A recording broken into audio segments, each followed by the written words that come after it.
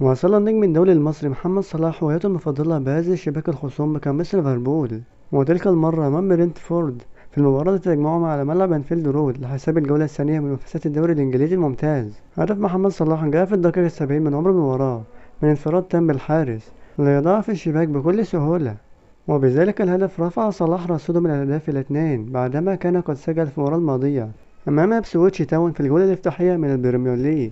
وانطلقت مباراة ليفربول وبرنتفورد مساء اليوم الأحد في تمام الساعة السادسة والنصف مساء بتوقيت القاهرة ومكة المكرمة على ملعب أنفيلد.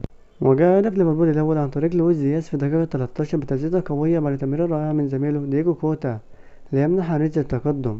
وجاء الهدف الثاني عن طريق اللاعب محمد صلاح في الدقيقة 70 وفي النهاية انتهت المباراة بفوز نادي ليفربول بنتيجة 2-0 ولحد هنا نكون وصلنا الفيديو. ما تنساش تشترك في وتفعل زر الجرس وتعمل لايك للفيديو يوصلك كل جديد. والسلام عليكم ورحمة الله وبركاته.